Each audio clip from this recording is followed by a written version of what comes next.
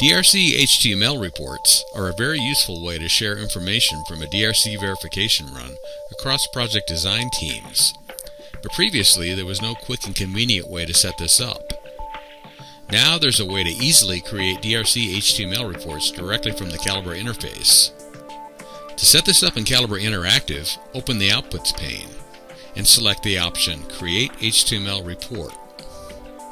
By default, the HTML report will use a built-in predefined template configuration, but you can customize this from the Setup Preferences GUI.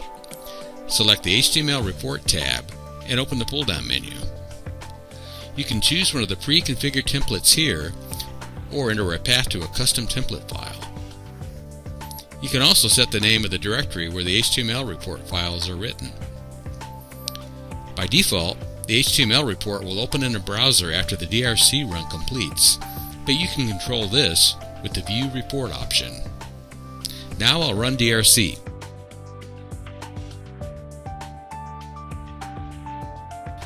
A web browser window displays the HTML report with details about the DRC results generated from the run.